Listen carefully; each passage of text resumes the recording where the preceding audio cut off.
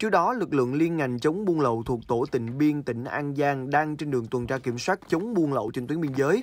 Khi đến khu vực cánh đồng sát bờ cống ông Cần, huyện Tịnh Biên, thì phát hiện ba đối tượng đang vác và gánh cỏ đi từ hướng biên giới Campuchia về Việt Nam, có dấu hiệu nghi vấn, nên tiến hành ra hiệu lệnh yêu cầu dừng lại kiểm tra.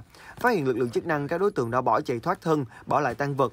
Qua kiểm tra, lực lượng chức năng phát hiện có một bao ni lông và hai gánh cỏ chứa 2.000 bao thuốc lá ngoại nhãn hiệu Hero Messi.